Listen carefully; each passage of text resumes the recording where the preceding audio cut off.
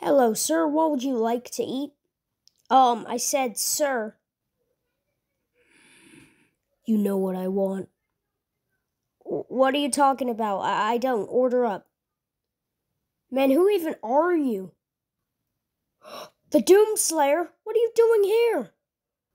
I want Big Mac. Um, okay. Um, do you want anything on it? Like, do you want. Just give me a Big Mac. Sir, I'm sorry, but what type of Big Mac? The one that's a Big Mac. Uh, fine, you want the normal Big Mac? There is no normal, there's just Big Mac. Give me whatever you have, alright? First thing is C. First thing, oh, you know what? First Big Mac I'll see, I'll get it. Hmm. I want, I want the bacon one. Okay. That comes up to. Wait a minute. This costs money? Well, of course, sir. It, it, it costs money. Or have you been in hell for too long?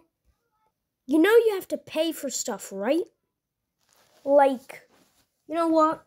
Um, just like pay for it, alright? Alright, you know what? You're wasting my time a bit here. Pay for it. Hey, I'm the manager. What seems to be the issue here, Doomslayer? Wait, you know the Doomslayer?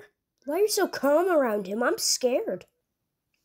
Um, well, me and him were good old Marines until, um, until I just left. As soon as we were about to fight hell, I went, nope. He still calls me a wuss about it.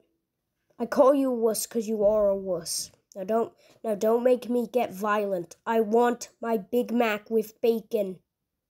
Sir, you have to pay for it. Do I now?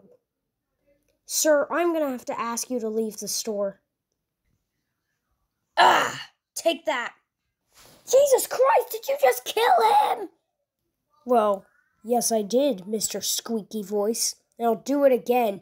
Give me Bacon Big Mac. I'm sorry, I just can't give you it. You just killed somebody, Doomslayer.